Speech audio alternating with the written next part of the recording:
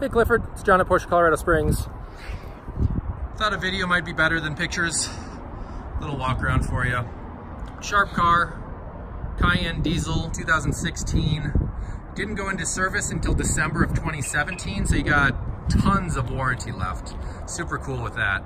Uh, RS Spyder wheels, roof rails in silver are on the back. It does have a trailer hitch as well.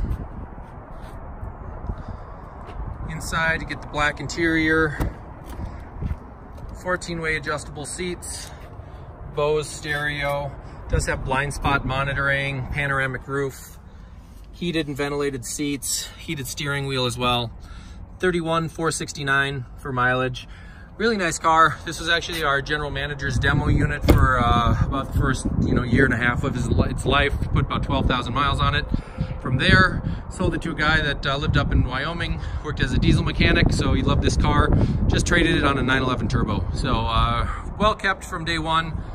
Tons of warranty left. Super cool diesel.